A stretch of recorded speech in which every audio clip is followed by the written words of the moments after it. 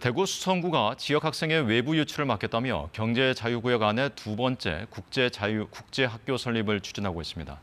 이미 대구 동구에 설립된 국제학교도 외국인 정원의 5분의 1도 채우지 못해 값비싼 무늬만 국제학교라는 비난이 이어지고 있는 상황에서 내국인 수요만 노리고 신설하려는 것 아니냐는 목소리가 나오고 있습니다. 유재현 기자의 보도입니다. 학교 용지로 지정된 대구 수성의료 지구의 한 부지입니다.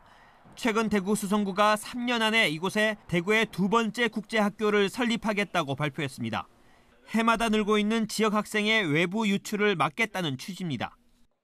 인재 유출이 또 심하고 학령 기금과 또 감소를 하고 있습니다. 그리고 아무래도 뭐 이런 미래 산업을 유치할 때 또 우위를 확보할 수 있는 면도 있고요. 하지만 넘어야 할 산이 많습니다.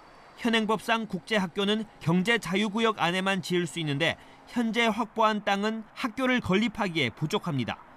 더욱이 국제학교의 주 구성원인 외국인의 수요가 턱없이 부족해 대구시 교육청에 허가를 얻을 수 있을지도 불확실합니다.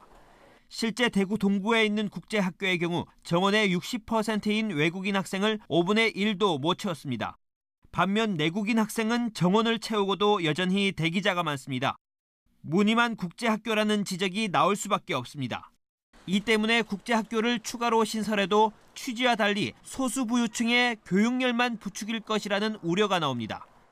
이건 편법이잖아요. 외국인을 위한 학교가 아닌 그 했으니까 학교 설립 취지에도 맞지 않고 소수를 위한 교육이라는 점에서 오히려 교육 양극화를 심화시키는 정책이죠.